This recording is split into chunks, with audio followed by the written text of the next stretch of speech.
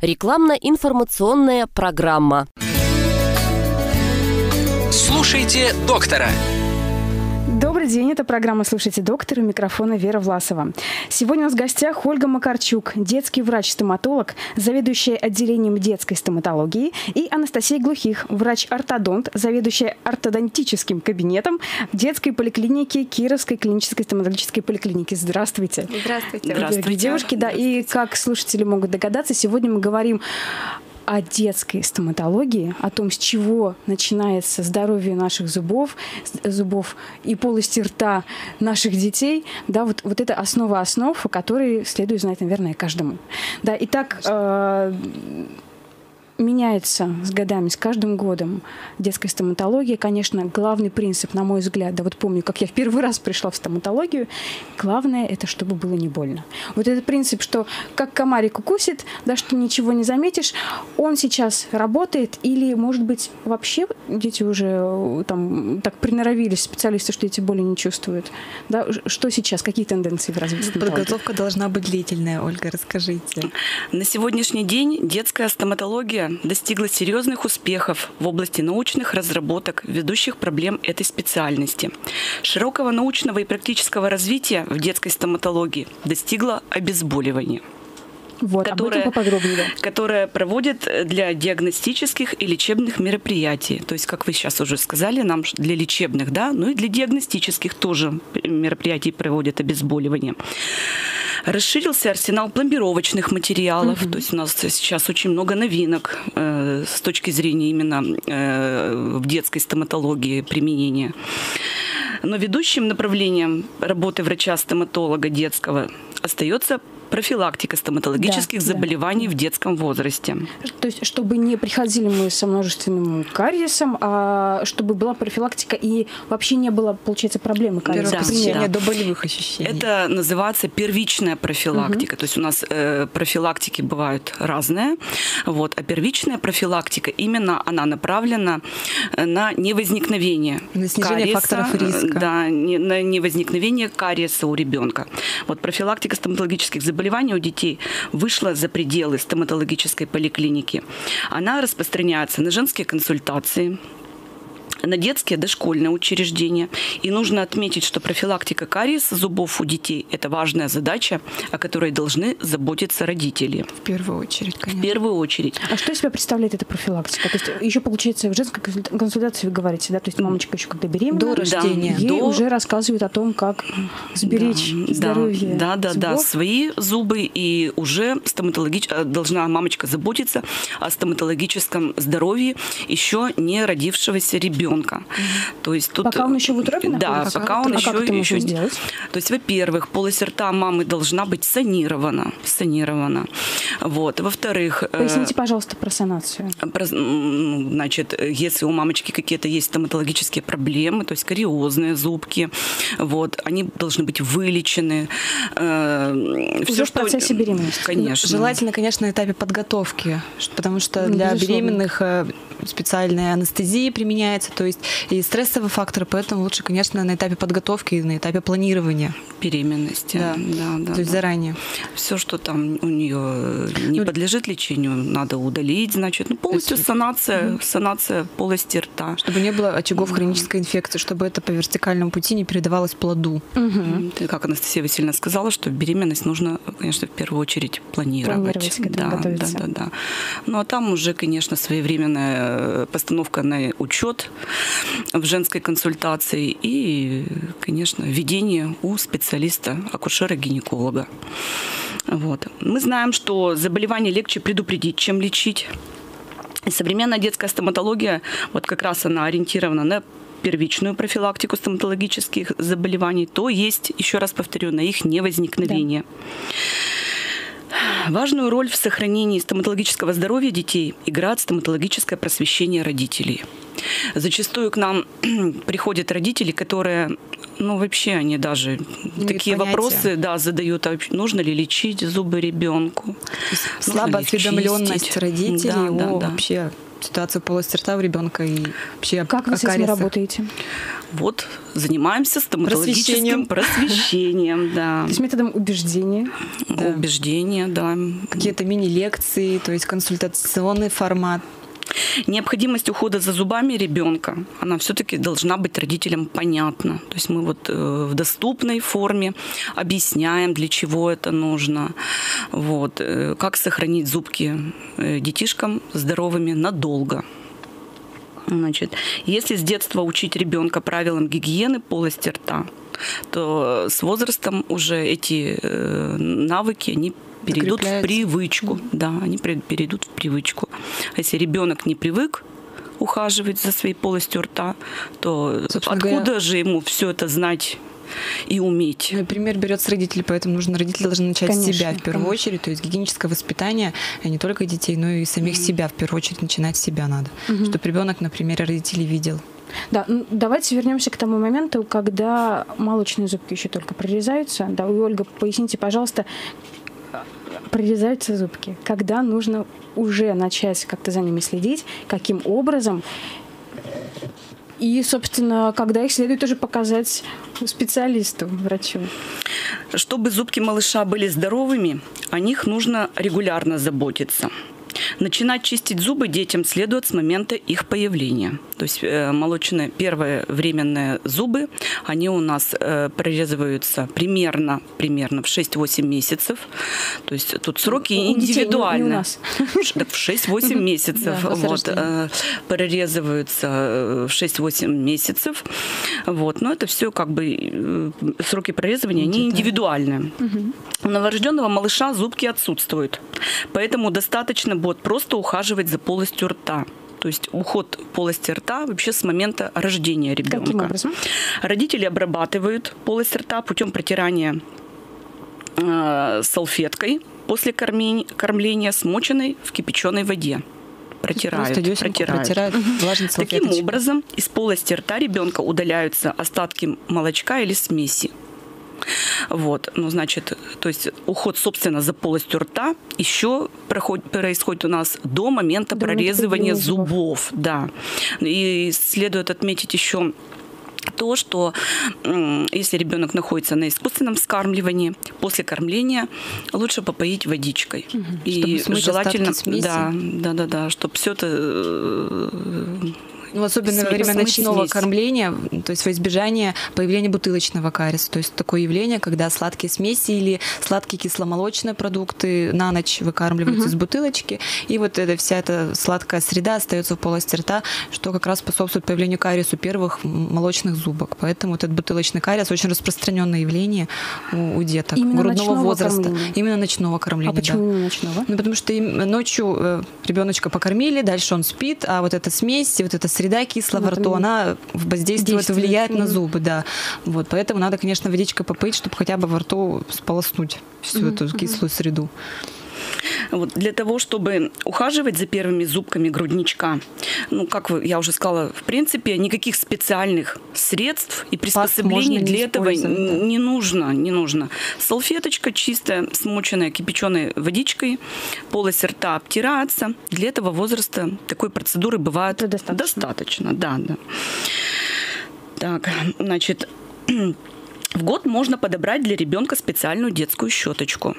Вот. А, Значит... А, давайте еще обратим внимание, прошу прощения, что перебила вас на гигиену игрушек. То есть когда а, зубки прорезываются, используют прорезыватели, то есть да. специальные игрушечки, которые да. ребенок может э, каким-то образом грызть, да, деснами. Угу. Вот когда чешется у него это все. Здесь какая обработка должна быть?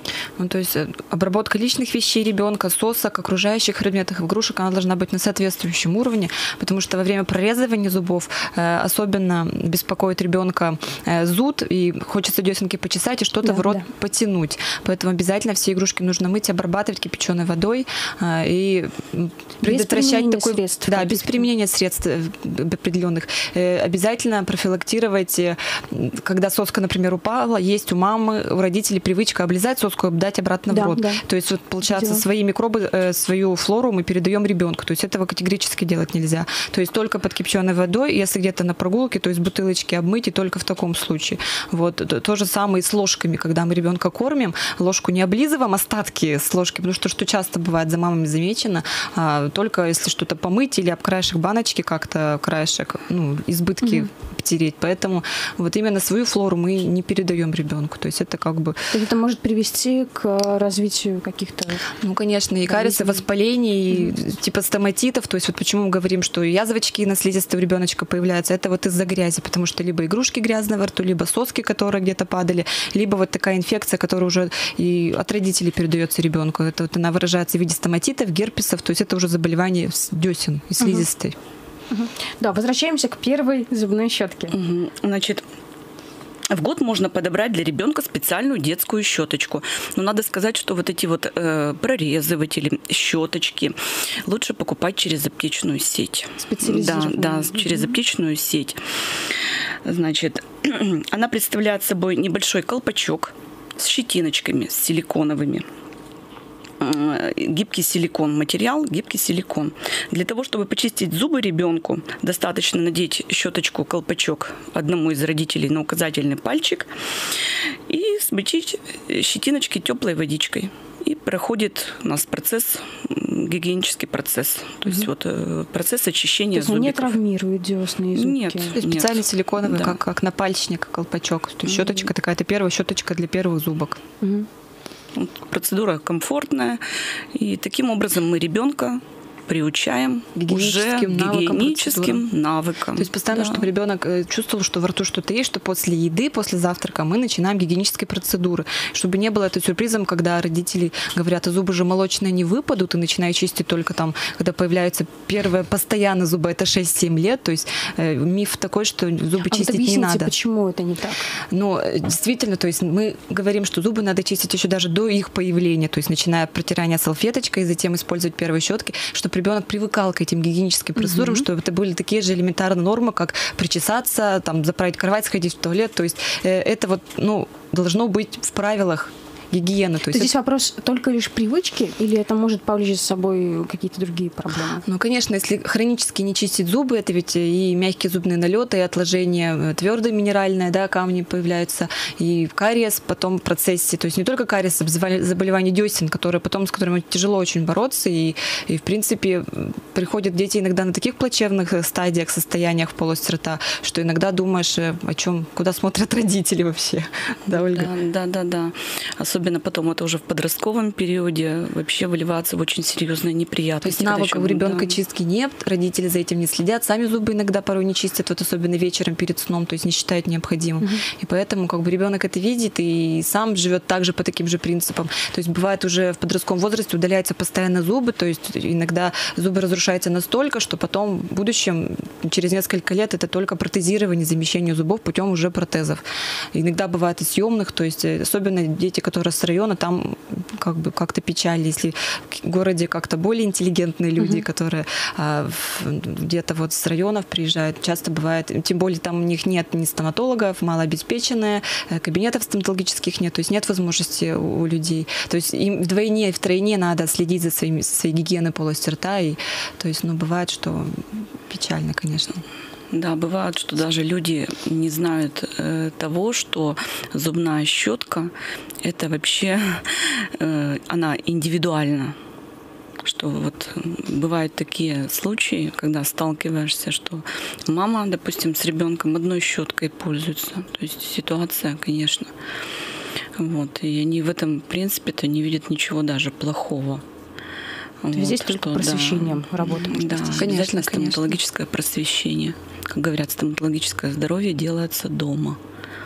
Вот, и с раннего возраста. Конечно. Поэтому конечно. первой зубной щеточкой пользуются также утром и вечером, то есть после Конечно. завтрака, после ужина. То есть утром два после раза. завтрака, угу. вечером перед самым сном. И уже когда э, ребеночек уже примерно 2-3 годика достигает такого возраста и имеет возможность полоскать ротик споласкивать. После каждого приема пищи ротик прополаскивается, ну, можно просто даже водичкой из-под крана, да, просто сполоснуть ротик. Ну, приветствуется, конечно, ополаскиватели, тоже очень хорошо, ополаскиватели. Более вот, старшем возрасте да, уже с да, разбавлением. Да с разбавлением. И, э, ну, конечно, все это лучше покупать через аптечную сеть. Лучше. Вот. А, идем дальше. Первый визит к стоматологу, когда он должен состояться? В каком возрасте? Первый визит к стоматологу вообще это испытание непростое для ребенка и для его родителей. Э, профессионалы в области детской стоматологии рекомендуют посещение специалиста уже с появлением первых зубов. Ну, как вот мы сказали. Знакомительное. Первый, да, первый, первый визит, визит 6-8 месяцев. Угу. Желательно. Для чего это делается? Но как подготовить? Вот как подготовить uh-huh. ребенка к этой не всегда э, приятной для него процедуре? Но в первый раз он, может быть, даже не понимает, что это неприятно. Он чувствует, наверное, только от родителей. Страх да, передается только передается. от родителей, да. То есть и негативные эмоции передают, что будет не больно, будет не страшно. То есть родители такими вот мнимыми не частицами, они просто ребенка запугивают. То есть ребенок, не зная, куда идет, он уже насторожен, он уже испуган. То есть что там с ним будут делать? Частицу не да, отбрасывают. Да, да, да. Да, психологически. Да, надо настраивать ребенка на позитивный настрой и да, что и вообще в принципе даже не, не распространяться. Ну да, посмотрит доктор, там что-то будем делать, но не использовать вот в обороте речи вот какие-то нечастицы, или там тебе там не будут делать укольчик, или не будут сверлить, то есть дети еще не знают об этих понятиях, то есть мы сами начинаем им привязывать какие-то какие штампы и ярлыки. Стереотипы, стереотипы да, да, которые потом вызывают уже, э, понятно, что ребенку это непонятно. Поэтому надо, конечно, опускать в обороты речи такие. Да, вот родители, как правило, этот поход э, уже начинают обсуждать дома. И им уже страшно да. самим, как это пройдет. Да, конечно, да. накручивают, отдавать. Да, накручивает себя, накручивает ребенка. Ребенок, он очень чувствителен, он чувствует и поведение родителей, и эмоции родителей, поэтому тоже начинает настораживаться. Особенно, когда это первый поход сопровождается э, всеми членами семьи, вплоть до бабушек, дедушек, когда они приходят всей толпой в качестве поддержки. То есть иногда нам, конечно, бывает непонятно. Э, конечно, мы там мило улыбаемся, нам это забавно, но э, ребенок в шоке, почему столько народу и что это за такое важное место, событие что мы... Да, важное. событие, что как бы, то есть, ну, в принципе, не нужно там особо там придавать большого значения это, то есть, и вот делать такой акцент именно на том, что вот ты там вот, конечно, надо похвалить ребенка, что ты молодец в конце, если все прошло хорошо, но для этого и нужно привести его, когда еще нет проблем. То есть mm-hmm. часто мы уже, э, особенно родители, э, ну, забывают о том, что да, полость рта и зубы, и за ними нужно ухаживать. И приходит, когда уже ребенка полный рот кариеса, зубы болят, все болит, болит. Конечно, ребенку больно уже изначально. И когда доктор начинает там смотреть что-то во рту и болезненные ощущения, то все равно это провоцирует дополнительный стрессовый фактор. И, конечно, ребенок начинает кричать, плакать, потому что ему изначально больно. Поэтому и нужно вот этот профилактический визит. Это очень важно, потому что одно дело мы придем вот с профилактической целью, да, э, в уютную, комфортную обстановку. К гигиенисту стоматологическому лучше прийти. Вот. вот да, к гигиенисту стоматологическому. А когда ребенок приходит с болью, когда он накануне не спал ночью, когда не спала вся его семья, они приходят все взвинченные, накрученные. Ребенок весь, ну вот вы понимаете, да, что вот ночь не спал. Вот, приходят в дежурный кабинет за оказанием помощи. Да это если еще выходной день.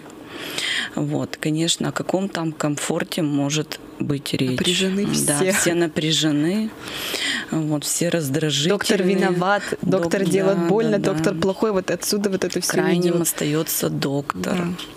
который, э, ну, сами понимаете, что ребенок, допустим, он же не просто малыш, э, сядет и откроет ротик. Угу. Зачастую приходится прибегать к помощи родственников и медицинского персонала.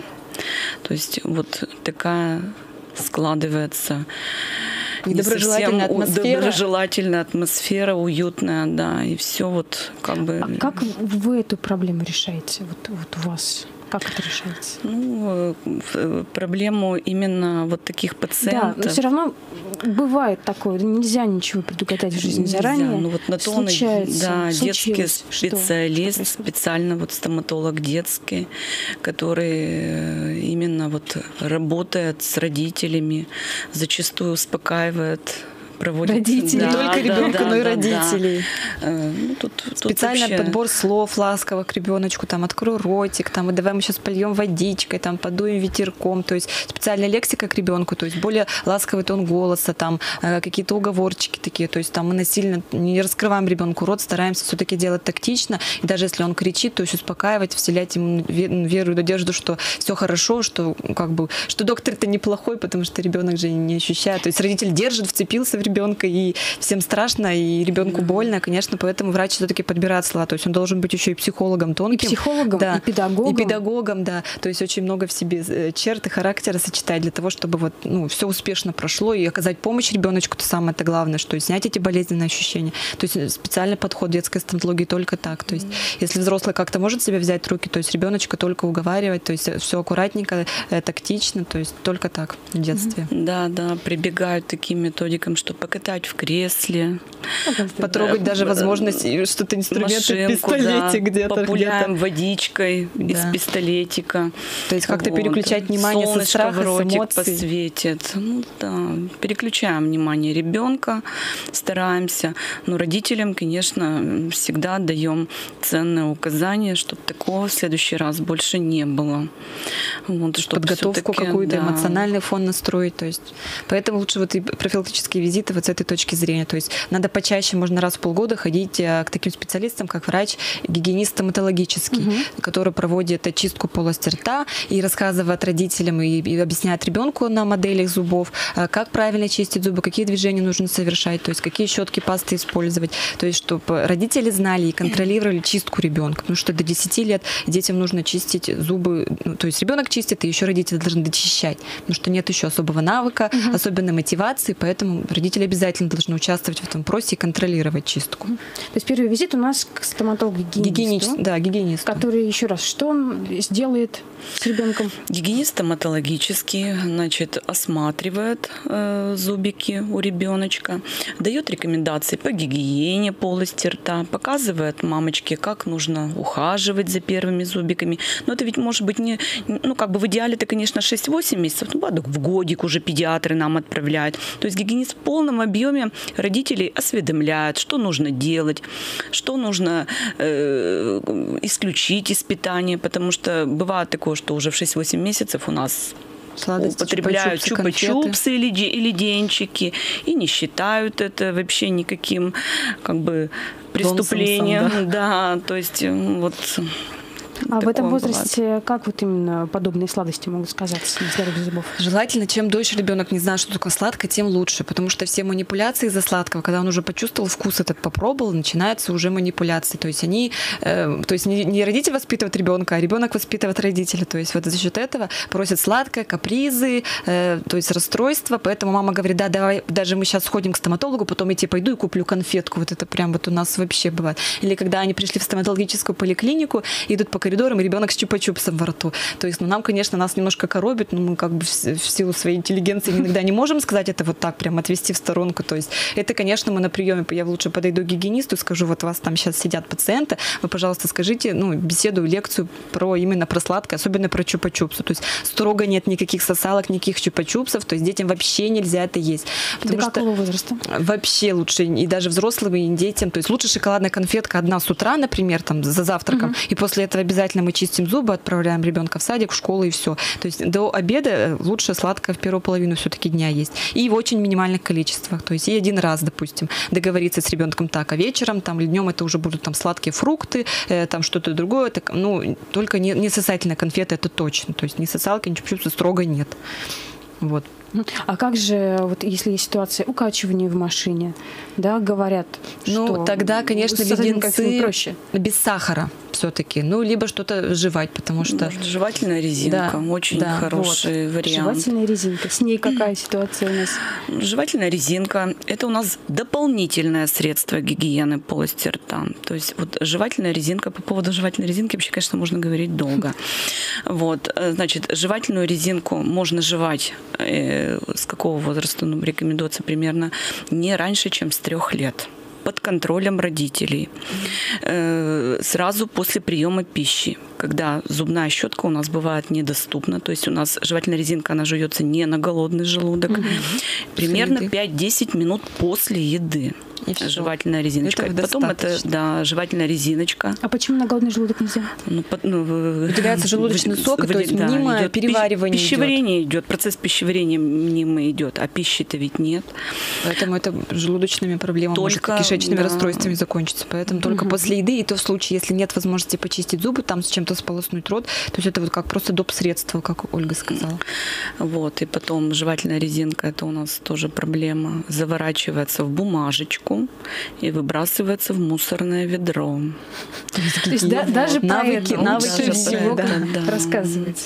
Вот. Ну, как дополнительное средство гигиены имеет место быть. Но не дольше 5-7 минут буквально, потому что потом э, избыточное жевание, то есть избыточная нагрузка на мышцы идет, и уже болезненное ощущение в суставе. То есть у детей очень челюсть нижняя подвижная, поэтому вот э, пренебрегать вот временем не следует, потому что потом в будущем могут возникнуть проблемы с суставом.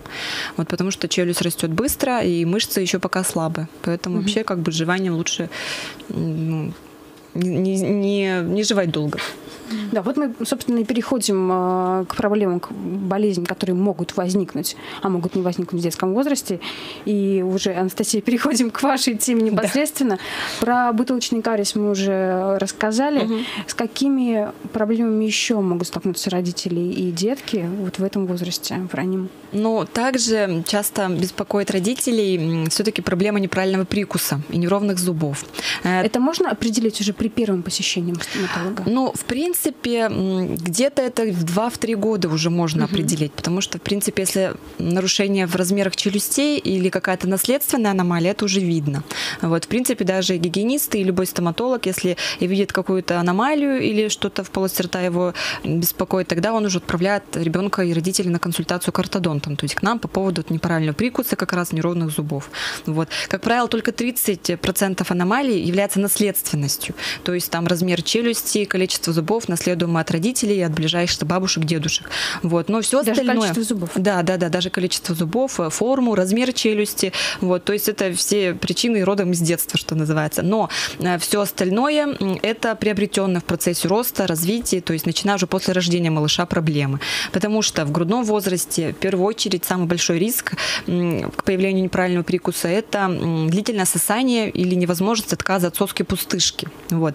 То есть пустышка зачастую используется родителями не только для удовлетворения сосательного рефлекса ребенка, но и э, даже чаще ради собственного покоя. Да, чтобы успокоить да, ребенка. Да, то есть, ну, как показывает практика, вредные привычки чаще возникают у детей, которые ощущают острый дефицит внимания от родителей. То есть, они заменяют вот эти вредные привычки, они возникают как раз вот способ компенсировать этот дефицит. Вот. Ну и вследствие длительного сосания соски у нас происходит э, инфантильный тип глотания возникает. Это когда ребенок при проглатывании слюны и разговоре э, язык прокладывает между зубными рядами. И возникает открытый прикус, так называемый, что затрудняет э, жевание, то есть откусывание пищи. Ну и потом все-таки сосательный рефлекс у нас должен году угасать, поэтому от сосок, от пустышек мы должны где-то уже отказаться к году. То есть кормить ребенка из чашки с ложки, поить из кружки через краешек, поэтому чтобы не было проблем в будущем с прикусом. Часто потому что родители, дети потом уже начинают манипулировать опять же родителями, то есть в полтора-два года нам сложно отказаться от соски, там он без соски не засыпает и так далее, и так далее. То есть, ну, тут надо как бы тактично, очень мягко, постепенно, но начинать уже где-то с возраста там 10-11 месяцев, потому что потом уже ребенок самостоятельно единица и требующий очень большого внимания, и, то есть, и все вокруг, в семье бегают вокруг него, как бы, а не наоборот, то есть, вот. Ну, значит, вот мы уже сказали, что также соска-пустышка может провоцировать особенно грязное появление различных заболеваний десен. Еще ведь форма соски важна. То есть ну да, лучше формы. ортодонтические, конечно, скошенные и силиконовые. Они есть просто различного размера по возрасту, то есть, соответственно, месяцам. Поэтому соску нужно подбирать, и она растет вместе, вместе с ребенком. Потому что большую соску тоже в рот не засунешь ребенку. То есть, и бутылочки тоже, если там ребенок искусственное вскармливание э, находится, то с определенное количество дырочек, определенная даже толщина э, стеночек соски должна быть. То есть это все как бы можно проконсультироваться либо с педиатром, консультантом по грудному скармливанию, по искусственному скармливанию, либо ну, аптек, э, то есть у провизора в аптеках. Вот.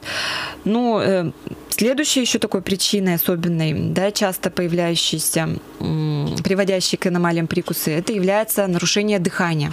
То есть часто дети у нас дышат ртом или смешанным типом. Вообще в норме ребенок должен дышать носом. Но дыхание затрудняется почему? Либо ребенок часто болеет, угу. вот, либо он аллергичен, да, то есть отек носа, э, от полости носа возникает, рот приоткрыт. Таким образом, с течением времени эта привычка вредная, она закрепляется, идет сужение зубных рядов.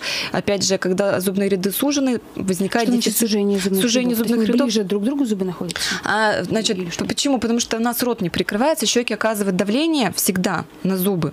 А если рот не прикрыт, у нас теряется э, сохранение полости рта равновесия, которое вот мышечный баланс, да, и получается сужение зубных рядов идет вперед, то есть вот по наклонной. А так как у нас зубные ряды уже сужаются, появляется дефицит места для зубов, и зубы начинают наклоняться друг на друга и расти очень плотно. То есть после прорезания постоянных зубов родители отмечают, что зубы скучились, места им не хватает, то есть это проблема и для прочищения. То есть в будущем в этих местах, конечно, будет появляться кариес. Поэтому тут все зависит от того, как, как мы правильно воспитываем ребенка, чтобы он не болел, то есть вообще жалеть его в этом плане. То есть, чтобы помогать челюсти правильно расти, то есть нужно вообще способствовать развитию естественного иммунитета организма в целом. То есть эм, контролировать полноценное питание ребенка, занимать его физическими упражнениями, закаливать, то есть предупреждать детские простудные заболевания. То есть, и даже осанка важна. Конечно, да, конечно. И в случае вот болезни, например, своевременно и до полного выздоровления лечить ребенка, чтобы не было каких-то остаточных явлений. Потому что, еще раз повторю, что очень важно следить, чтобы ребенок дышал именно носом. То есть носовое дыхание очень важно.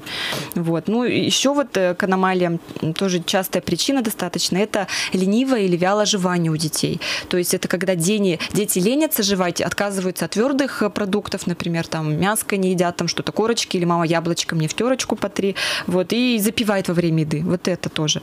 То есть э, почему это так важно? Потому что вовремя недостаточно стираются определенные зубки, например, клыки, э, челюсть плохо растет, то есть нет нагрузки жевательной, которая передается на мышцы, на десны, на пародонт. Челюсть плохо растет. Опять же идет задержка э, роста челюсти, челюсть узкая, маленькая, э, зубам некуда помещаться. Опять начинает скученность возникать, то есть зубы друг на друга прорезаются очень тесно, плотно. Ну, вот, то есть неправильный прикус и неправильное то положение пища зубов. должна быть. Да, Морковка, обязательно, репка. обязательно. То есть ага. дети должны получать твердую пищу, то есть требующую усилий даже для разжевывания, я бы так сказала. То есть это свежие овощи, фрукты, отварное мясо, черствый хлеб, корочки, то есть все, что как бы способствует именно жевательной нагрузке, хорошей такой жевательной нагрузки. Ну и самое главное, во время еды не запивать. То есть это только до либо после приема пищи. Вот это тоже важно. И тогда мы будем стимулировать и жевание, и активный рост. А когда челюсть хорошо, правильно растет, тогда и появляется место для зубов. То есть зубки будут вставать правильно, как надо. Ну. Вот еще хотела добавить по поводу, значит, э, вот э, культуры потребления пищи в детских образовательных дошкольных учреждениях. Хочу обратиться к педагогам, чтобы все-таки они детишек не торопили, когда они кушают, чтобы ребенок э, тщательно прожевывал пищу, вот, и чтобы, соответственно, пища будет лучше чтобы не заглатывать, не запивать, да, не, не торопить не ребенка когда он кушает. И по поводу еще вот э, носового э, дыхания, mm-hmm. профилактика э, дыхания ртом. Обязательно детишкам нужно носовые платочки отправлять в детские сады, чтобы у ребенка был носовой платочек, чтобы он мог сам Э, заботиться о состоянии гигиене своего, носа. да, гигиене носа, ну и педагоги, педагоги э, в детских образовательных дошкольных учреждениях тоже должны как-то, если у ребенка носик не дышит, как-то своевременно отправить его э, в туалетную комнату, да, или в медкабинет. Вообще, чтобы ребеночек сам заботился о э, гигиене носа. Чтобы уже с детства да. была такая ответственность да, да, да. за собственное да. здоровье. А лучше еще родителям э, проводить дыхательную гимнастику с детьми. То есть помимо вот какой-то физкультурной зарядки, даже вот на уроках вот для начальных школ, э, помимо физкульт минутки, когда там пальчики устали там размяться, встать, еще рекомендуем какие-то бы дыхательные упражнения посмотреть. Это что такое? Расскажите. Ну, в интернете большой комплекс дыхательной гимнастики есть, то есть задерживание задерживанием а, дыхания, то есть на вдохе, на выдохе. То есть это очень важно для профилактики как раз вот э, дыхания смешанного. То есть обязательно носовое дыхание мы стимулируем, чтобы свободным было, для чего гигиена носа нам нужна. Поэтому вот какой-то комплекс из двух-трех упражнений, помимо физических, еще и дыхательную гимнастику. То есть она будет профилактировать вот это дыхание, дыхание ртом. Чтобы ребенок правильно рос, потому что сейчас каждый второй аллергик, каждый второй э, ну, болезненный, болезнен, то аденоиды, то да. миндалин увеличен, то есть дети часто болеют, да, иммунитет очень слабый у детей, поэтому сплошь и рядом, э, когда на прием приходят такие пациенты, это видно, то есть рот приоткрыт, то есть мы таких э, детей ласково называем полоротики, поэтому, как бы, конечно, детей, детей обращаем внимание, во-первых, и детей, и родителей, и учим родителей, как ну, гимнастику проводить, то есть комплекс упражнений даем определенно напечатанный, вот, то есть чтобы родители занимались с детьми, то есть это очень важно это именно дома делать, то есть, конечно, там э, доктор как-то мотивирует, э, зарядит, там консультацию проведет, но обязательно вся ответственность, конечно, только на плечах родителей, потому что профилактировать это надо, если фактор риска есть, фактор риска мы устраняем, но профилактика и дальнейшими какими-то упражнениями должны заниматься дома дети с родителями. Ну, наверное, на сегодня это все, что мы успели, о чем успели поговорить в программе. Давайте еще небольшую памятку для родителей, а, будущих и настоящих, о том, как все-таки следует следить за здоровьем полости рта, деток, да, маленьких, когда первый визит к врачу, очень кратенько, по пунктам. Немножко резюмируем, угу. да. Значит, профилактика кариеса э, зубов и его осложнений, э, значит, э, делается у нас дома, профилактика, ложится на плечи родителей. То есть, как мы уже сказали, что задолго до рождения ребенка, с момента планирования беременности, Первый визит к стоматологу 6-8 месяцев.